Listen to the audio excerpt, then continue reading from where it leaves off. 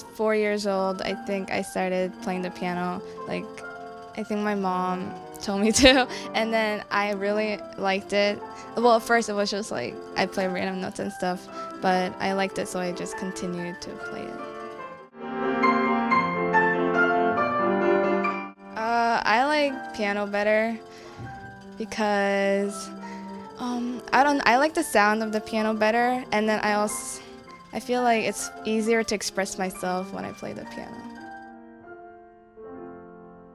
Um, well, it was a really great experience, like meeting other people from other schools who like share my interests, and then so I made friends, and then it was just nice to see like where everybody is at, and then like learn from them. Highlight would be. Well, I really like the coffee house during IASAS because I feel like everybody bonds more and it's just entertaining and everybody's like super. My least favorite would be.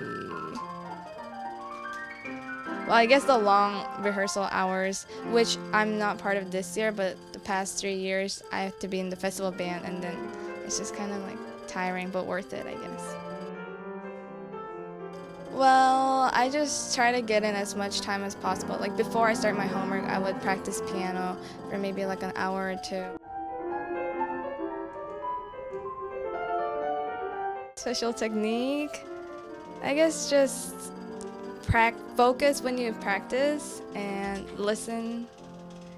Listen to recordings and try to imitate them at first, but then later you form your like your own way of playing. I guess when I organize it, I feel like I am more responsible for having like making IASAS CulCon like a great experience for everybody else, whereas before I was like more concentrated about just me.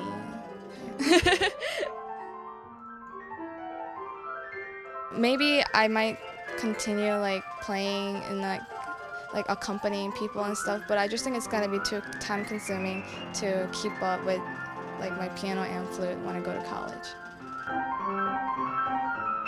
I guess I would say my passion for music, like it's not like I do something just because I'm forced to, but I actually enjoy it. And like when I'm stressed from work, I like go play piano for a few minutes or so.